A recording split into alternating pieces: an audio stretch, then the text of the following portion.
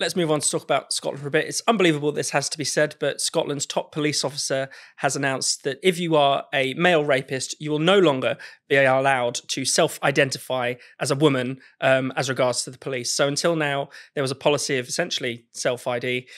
If you said you were female, the police officers would treat you as female for all intents and purposes.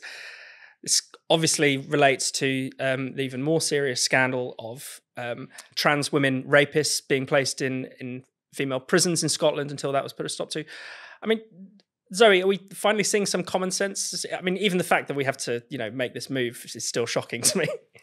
It's so embarrassing that while Russia and China and Iran are busy kind of cooking up the end of the world, the West has literally got its knickers in a twist about, you know, who's a girl and who's a boy and what private parts mean and who the, you know so embarrassing it's so as you say cringe um i mean is the tide turning I mean, I've I've written the odd thing about how you know J.K. Rowling has has moved the needle in various ways, and certain kind of things suggest um, not only you know the the Cass report, but many other things that maybe the tide is turning.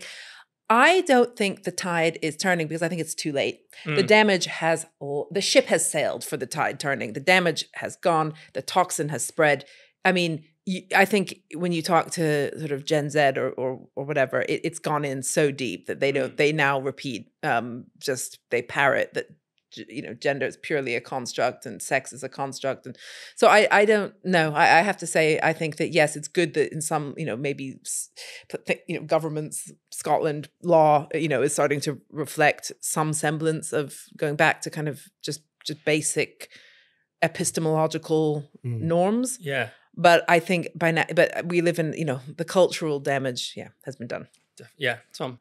I think it's a reminder as well that because i think we've all been struck by how as, as, soon as you feel like you've pushed it down in one institution, it pop backs off in, in mm. another, or you feel like there's a particular win. The Cass review felt like that for a lot of people, not least because this Labour government have at least kind of rhetorically backed its recommendations, whilst in other policies it's pursuing things like um, the um, conversion therapy bill and so on. Yeah. Um, going back on that to a certain extent. But it's it's a reminder. It's a bit like you know the kind of Ibram X Kendi thing. it's not enough to be not racist. You have to be actively anti-racist. I feel like it's not enough for institutions now to just not be lost to gender ideology. They've really got to be actively trying to push it out of the processes, yeah. of the way in which these things have gone, and not in a kind of purge-like fashion, but just to say we need to return to just um, objective reality, biological facts. That's not a big ask yeah. of an institution like the prison service or the health service um, or the legal profession. Mm.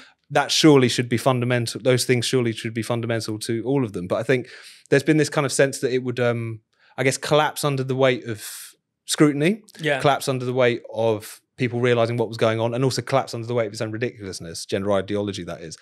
And I think we're starting to find that whilst there are moments like this, as we've seen with Police Scotland, encouraging signs that people are beginning to twig.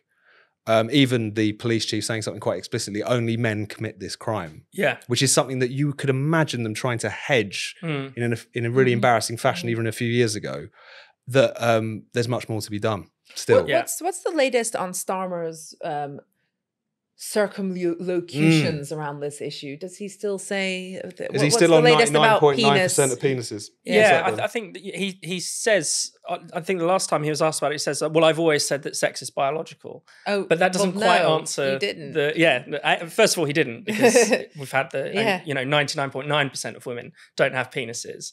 Uh, my, my favorite one was when it was during the election campaign, and they would say to him, "You know, is a woman an adult human female?" And he just said, "I agree with Tony Blair." Mm. That's all he could yeah. bring himself to say. He couldn't say yes. Yeah. He couldn't say I agree with Rosie Duffield. Obviously, he couldn't say I agree.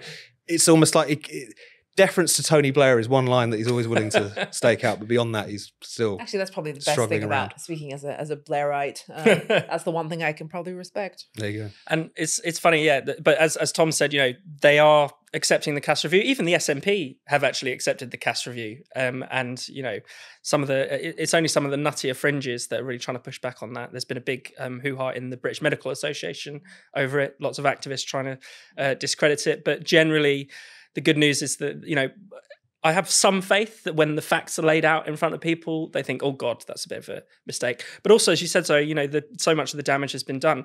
Whether that's in you know the women who have been raped in in prisons, whether that's the children who have been mutilated as a result of thinking of all this. Whether, and and the younger generation who who still unfortunately cling to this belief. Well, I think it's just that by now, maybe even in Scotland, some people's children have started to say they they want to transition and Mm. bind their breasts, and the the parents are start, suddenly starting to realize how awful and insane Mm. so much of this is. That isn't the you know the the the, the few instances of genuine gender dysphoria, which we know is like a, a known um, disorder, uh, which is you know should be treated um through being trans or whatever but but this idea that you know we, we know now thanks to people like abigail Shrier and stuff that Mm. this is a social contagion largely.